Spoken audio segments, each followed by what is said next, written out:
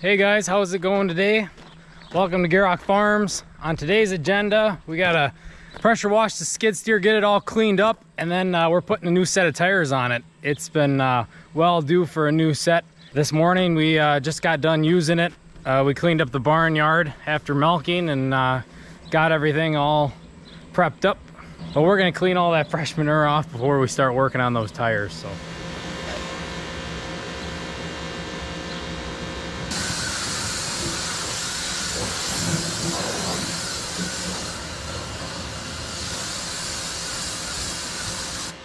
Oh, and before I forget, I uh, wanted to ask you guys to leave a comment down below what kind of skid steer you guys prefer. I know in our area there's a lot of Bobcats. That's a pretty common one around here because we have a dealer nearby. But I've heard a lot of good things about like Cat and uh, Gehl and JCBs. Um, Kubotas are getting pretty popular for their price. So uh, leave a comment down below what kind of skid steers you guys like. Also, if you haven't already, make sure to subscribe. And if you like the video, hit the thumbs up button. It means a lot.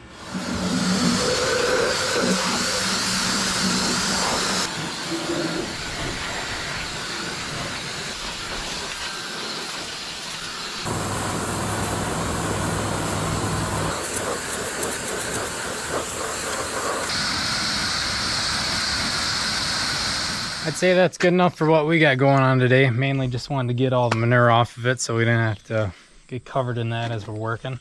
But yeah, we're gonna go bring that down to the shop and get started on those tires.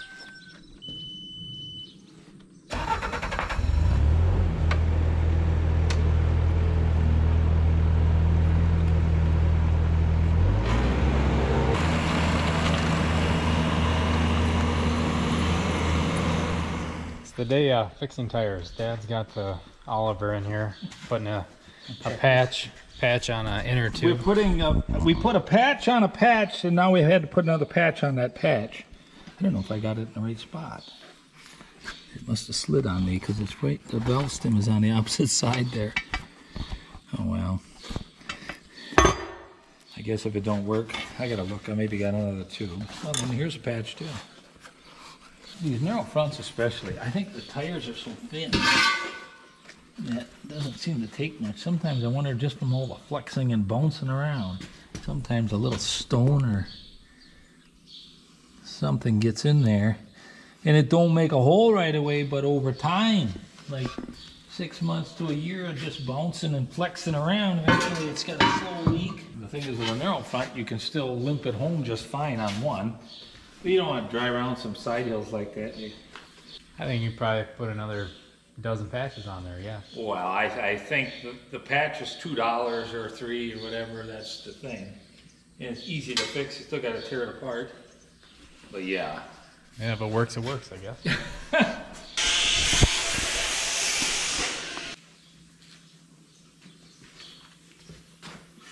I can feel the air coming out.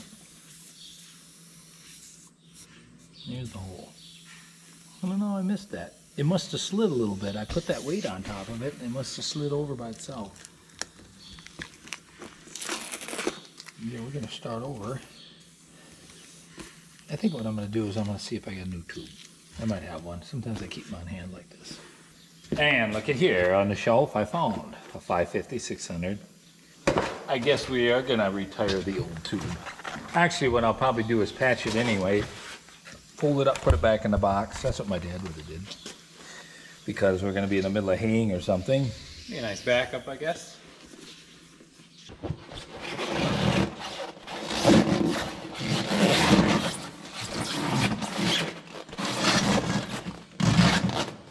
This reminds me of an old trend on the internet. Is there more wheels or is there more doors? What's there more of? If there are more wheels or more doors. Yeah. I would bet wheels. You think so? What about your house with all them cabinets and stuff? Oh, well, if we're getting into cabinets, then I maybe not. But just doors to the home or something. uh, You know? But then like little bearings on certain things, you know, like are those technically wheels too, you know? You can get pretty in depth. I imagine if you have trouble sleeping at night, you should think that through. The people gotta know what is this? More wheels or more Well, doors? that's what I mean. If you have trouble sleeping at night, that's when you get your pen and paper out and really start calculating. Let us know what you think. More wheels or more doors? I just figure everybody's got a, at least two or three different vehicles, whether it's their lawnmower or whatever, and they probably only own one house, so they probably got more, more wheels. than More doors. wheel, you think More so? wheels than doors, because there's usually four on everything. Heck, we could get down to the bicycles and all that, like you said. That sounds like a conversation for a bar somewhere where everybody That was a big. That was a big trend on the internet. I think it still kind of is. I Everybody, think- everybody needs to know. I think What's we're, more? I just hope we get this wheel right. On this property. I would have to say we're probably gonna be up on wheels. With all the farm equipment. I suppose open stations you don't have doors. Like our cab connectors, you got three doors on them. No, the back's a window. Well, is it though? It's on a hinge. Is it? Is it a window or is it a The door? window. I think we need to get the dictionary out and find out what What's what? definition of a door really is. Maybe, like you said, the hinge would define. Thirty-five or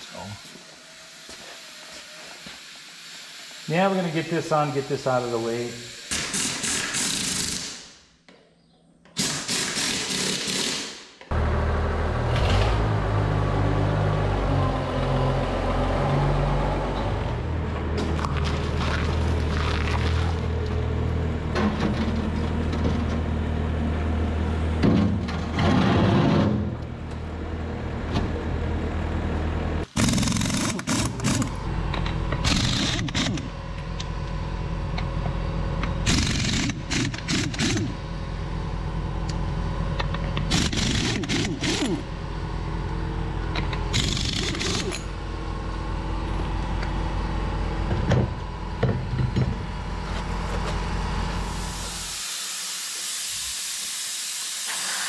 Well, I think what we can do, we could probably start looking at all the equipment we got and add up all our wheels. Well, yeah, but I'm talking in the whole the whole world. That's what. Well, we have to start somewhere. You know, we have to make like a threshold to say, okay, wheels like But then, like on the baler, you, you obviously got more wheels, but then you have to count like Like your the- shields. Do you count your? Are those doors too? You know. Well, okay, we're gonna have to get down to you know like a little basics, like see, because we could even go steel wheels that are in our fence over here. This could this, this could go, this could be nuts. I think we just go with all the rubber wheels, the ones that roll, that you know, whether it's the wheelbarrows or the bobcat or all our wagon stuff. So then the Amish wouldn't have any wheels then. Then they just Well, have, they- then they just have doors. So that's more doors then than wheels. No, because it's carrying their equipment around, we just call them wheels. so you'll count a steel wheel as a wheel yet. But you yeah, but you these bragging- wheels ain't. d- d- It has to be able to roll to be a wheel. Yeah, okay. yeah. If it's, it can't roll anymore, we can't count it because we could go to the junkyard and really get crazy. How many doors are there? Or like on the barn, you know? Well, if they're if they're, so if they're actually doors that actually can open and shut, we can call them a door. That you can actually physically walk something through it. Or like like storage units. That probably adds up really quick. There's a lot of doors there. Well, And then every car, you got normally four doors and four four or five wheels. yeah, you want to count the spare. So never ending, I think. I think it's pretty it's neck and neck, I think. I think we got more wheels. My Bobcat doesn't have a door on it. Okay, the back door for the motor. Yeah, but the door still exists. It's One, it's on the shelf.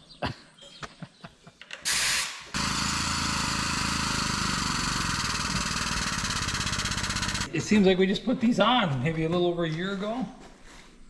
I don't know, these seem to wear down pretty quick. So we built a new shed because we had all that new, fresh, dry, coarse con, you know, that's real, that wasn't shined up from the cattle or nothing yet. We, then we're skidding around there, putting up rafters and everything. We wore them tires down pretty quick. Yeah, concrete wears out tires. Dry concrete in the trench because of the acids of the silage. You know, so the first years we were here, we didn't have nearly as much concrete. It seems like the tires are like, I got five, six years out of them. Yeah, I think any any uh, animal operation, their skid steer or their loader tractor, they're replacing tires all the time. Now, the sales guy that sold me these, these are like three hundred and twenty-five dollars a piece, which they look like a very aggressive tire. But he said they'll last four times as long as the cheaper ones. But then he showed me the cheaper one, and then I thought, well, I would believe twice as long. I don't know about four times. If you ain't got much on concrete, like if you're just snow removal or or dirt work all the time, these things could last for ten years. Yeah, I know if this was in like a warehouse or something, you wouldn't want tires with lugs like that. You'd probably want those almost look. They almost look like turf tires or. Yeah, they got some different stuff. Well, that guy where we bought the hay, he had a he had different tires on there. I guess I They didn't even work on- notice. On, on, and then they just got that chaff on the floor, which almost makes it like a dance floor, where it's a little bit of a, it'll slide on that. I think that makes good sense, and I think it slides instead of kind of jumps and almost waddles when it's too dry.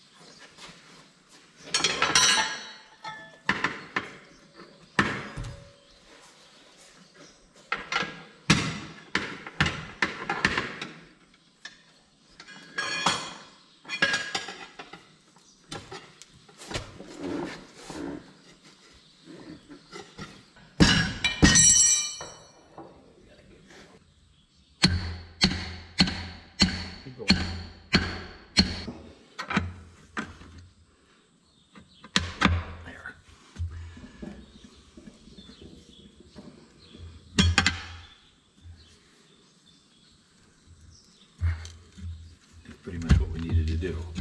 Definitely make you earn it. Yeah, they're pretty stiff tires. Just three more to do now. They're just so stiff, It's as simple as that. But you want a good tire, so you're gonna fight it. Yeah. It reminds me of them fronts on the on the 74.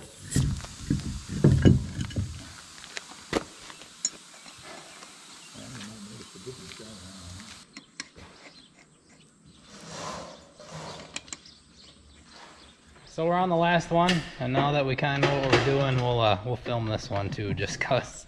We got the technique down. These are very thick, stiff tires, so I think it makes a world of difference compared to them other ones. What you do, how you put them on.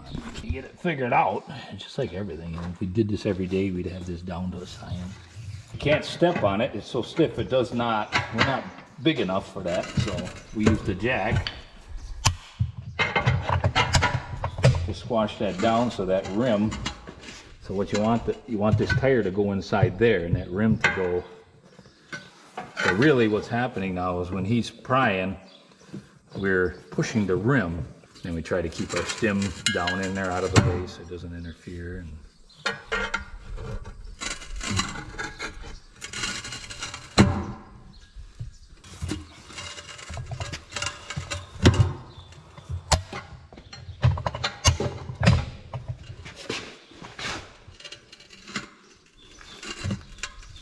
Yeah, and like that Oliver front, that that's just uh like a marshmallow compared to this thing. We could practically squeeze it on with a couple screwdrivers.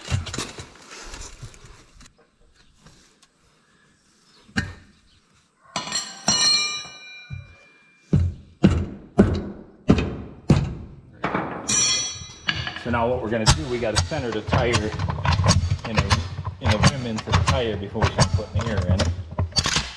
So, gonna spin the tire. I most tires you can do it by hand, but this one's so stiff you can't. You use the jack to kind of maneuver it. We're gonna push down just a little bit here until we get some air in, then we just let our jack go. So we got things kind of centered up.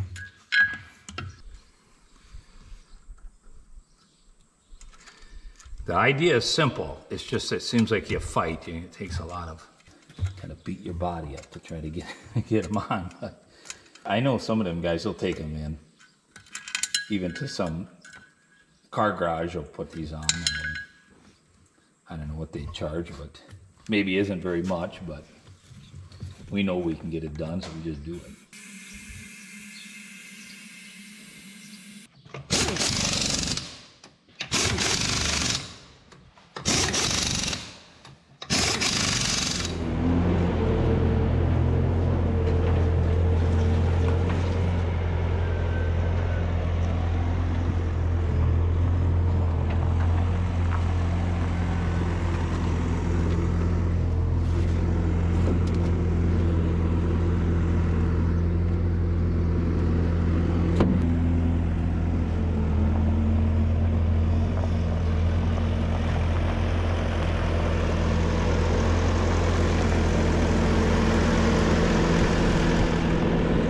So that's going to be it for that project.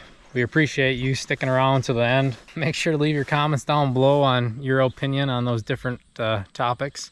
Uh, we're for sure reading every comment. want you guys to know that, even if we don't respond to them. Can't respond to all of them. There's not enough time in the day. Also wanted to remind you guys, if you aren't already, make sure to subscribe. And also check out our other videos if you haven't seen them. But that's going to be it. So I hope you guys have a great day.